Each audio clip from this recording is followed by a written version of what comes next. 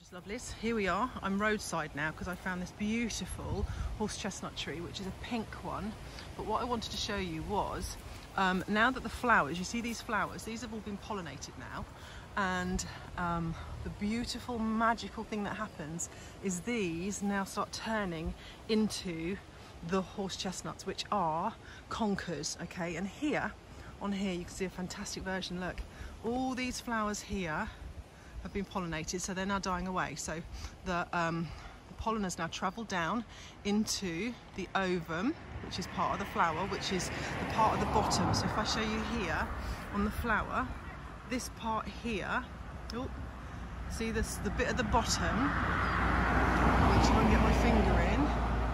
Oh, I can't even find you on my screen. Where are you?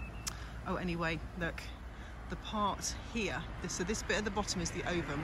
So that bit starts to swell because it's been fertilised. So the uh, pollen has gone down.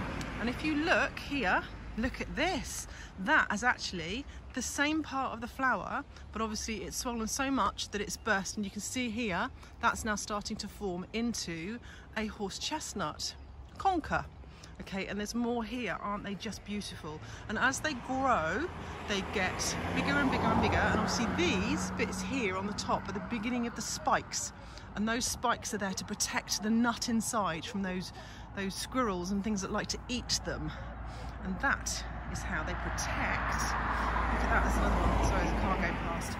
And that's how they protect their fruit or their nut I mean not a fruit isn't that just amazing? So I thought I'd show you that because that is nature in action, um, making the next generation of tree.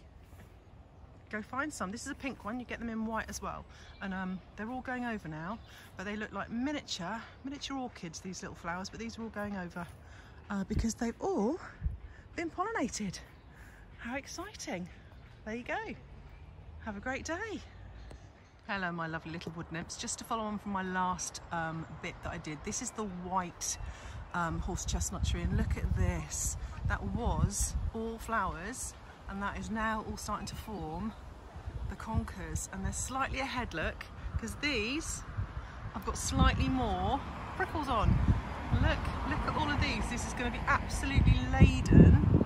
How exciting with conkers in the autumn. So I just wanted to show you that little tiny bit more and you can see that there's some of the white flowers still left on there. And we're still roadside so I do apologise about the road noise. But look at these.